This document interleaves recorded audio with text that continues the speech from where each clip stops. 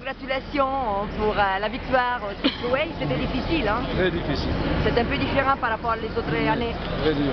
Ouais. Très dur, on avait beaucoup de chaleur, des étapes longues, 500 km.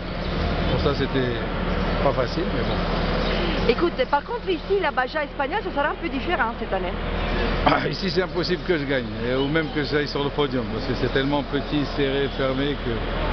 Mais bon, Ils disent qu'il y a un peu de montagne cette année. voilà, Ouais. comme toujours. Et la température, par contre, là, c'est bien. hein. Ouais, ouais, c'est meilleur. C'est beaucoup mieux. Ouais. Est-ce que tu as une voiture un peu différente ou- Non, non, non, on a pris une voiture pour faire la course et voilà, on va essayer de gagner le deux roues motrices déjà, et sans problème, on essaye.